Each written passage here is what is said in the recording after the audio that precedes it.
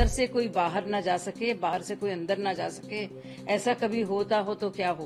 तो यही हालत है केजरीवाल जी की। अंदर से बाहर आ रहे हैं, बाहर से अंदर आ रहे हैं। ये सिलसिला मुझे लगता है चलता रहेगा। चाहे शराब हो या फिर आब हो, पीने का पानी हो, हर जगह भ्रष्टाचार ही भ्रष्टाचार घोटाले ही घोटाले सामने दिख रहे हैं। गलती से ही सच बोलना पड़ेगा, लेकिन बोलना तो पड़ेगा। दिल्ली शराब नीति केस में राउस एवेन्यू कोर्ट ने 20 जून को अरविंद केजरीवाल को जमानत दे दी थी।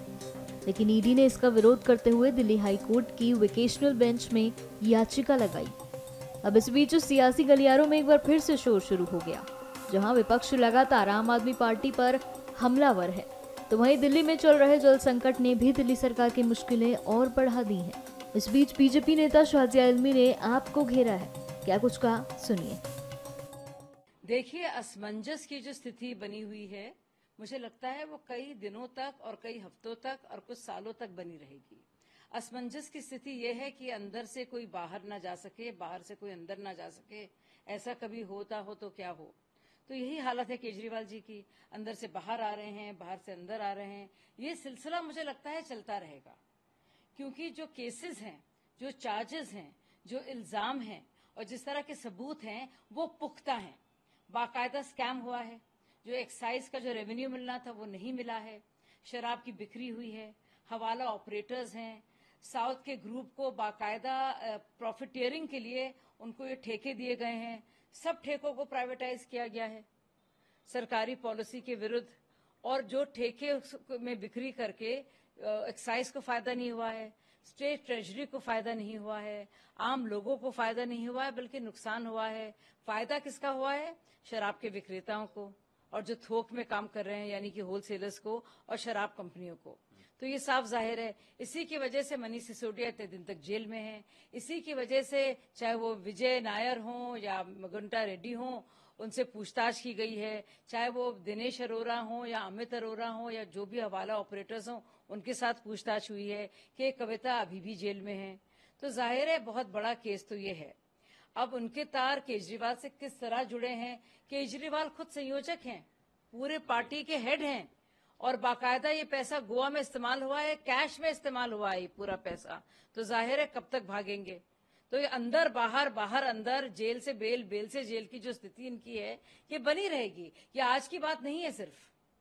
जितना न्याय व्यवस्था का अपमान केजरीवाल जी और उनकी पार्टी ने एक बार नहीं कई कई बार किया है, मुझे लगता है उनको इसके लिए न सिर्फ़ शर्मिंदा होना चाहिए, बल्कि माफ़ी मांगनी चाहिए।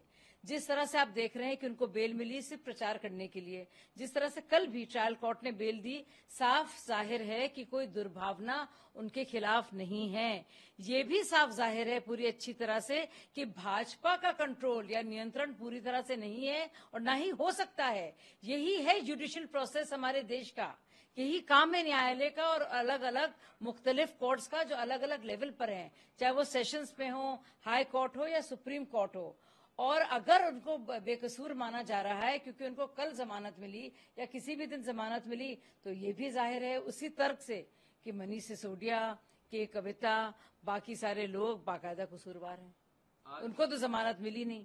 और एक और बात जो लगातार ये केजरीवाल जी कहते रहते हैं और उनके साथ ही कहते रहते हैं कि देखिए मंगुंडा रेड्डी या शरद रेड्डी या बाकी लोग क्योंकि अप्रूवर बने इसलिए उनको मेल बेल मिला।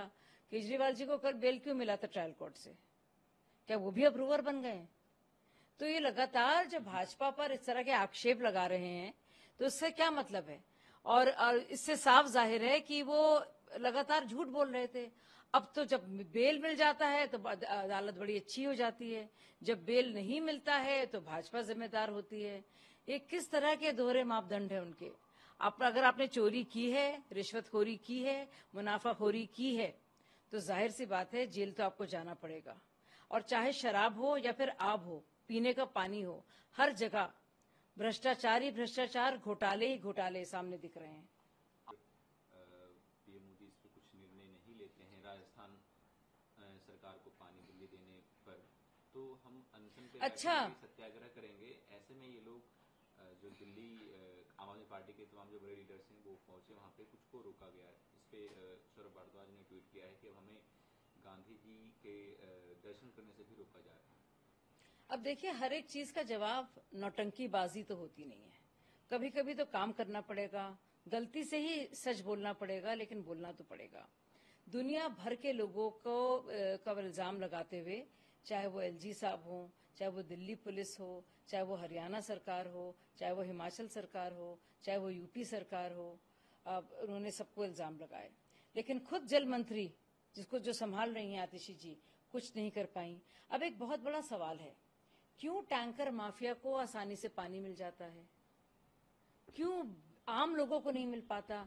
दिल्ली जल बोर्ड, जो आम आदमी पार्टी के आने से पहले, जिसका मुनाफा था 600 करोड़, वो अब सत्रह हज़ार करोड़ के घाटे में चल रहा है।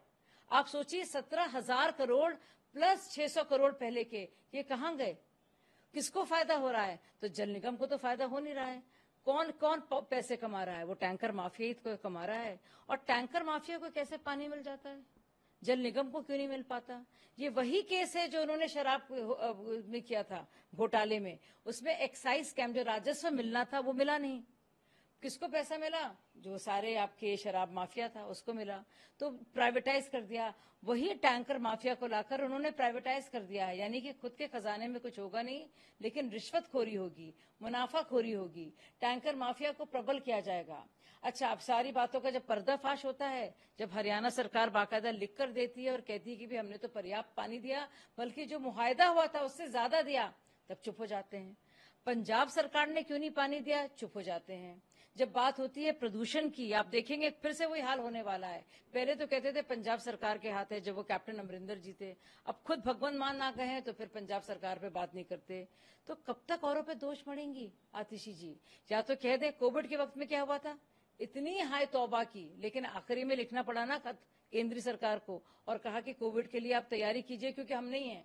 अगर आप असक्षम हैं, अगर आप निकम्मे हैं अगर आपसे कुछ नाकारा है, अगर आप पूरी तरह से अयोग्य हैं, अगर आपका सिर्फ़ काम झूठ मूठ का जेल से बेल बेल से जेल राजनीति का झूठ बोलने का है तो आप जल मंत्रालय से इस्तीफा दीजिए ना। ये नौटंकी बाजी के चलते, नाटकबाजी के चलते क्यों आप प्रोटेस्ट कर रही हैं? कि उससे क्या होगा? और प्रधानमंत्री जी का इससे क्या लेना है आपके जल मंत्रालय से? आप जल मंत्रालय से इस्तीफा दीजिए और कहिए मुझसे कुछ नहीं होता है। मैं सिर्फ़ झूठ बोलती हूँ सुबह से शाम और इतना झूठ बोलती हूँ कि उसके बाद जब मुझे नोटिस मिलता है तो मैं जवाब भी नहीं दे पाती। मैं इस कदर इतनी बड़ी झूठी हूँ कि मैं कुछ भी नहीं कर सकती। मैं सिर्फ़ औरों पर इल्ज़ाम लगाऊँगी। तो मुझसे मंत्रालय प्लीज़ ले लीजिए। आप लोग दिल्ली के लिए कुछ कर लीजिए। ये तो कहना चाहिए ना, आप दिल्ली के लोगों के जज्बातों के साथ खिलवाड़ क्यों कर रहे हैं? देखिए, शराब घोटाला हुआ था। उसे मुनाफाखोरी हुई। बहुत बड़ा वो कांडवार घोटाला हुआ। लेकिन कम से कम आम लोगों पर तो बात नहीं आई ना, उनकी जिंदगियों पर। तो चाहे शराब हो या आब हो, आम आदमी पार्टी का काम और आम आदमी पार्टी का पाप सिर्फ़ और सिर्फ़ घोटाला करना और उसके बाद झूठ बोलना है।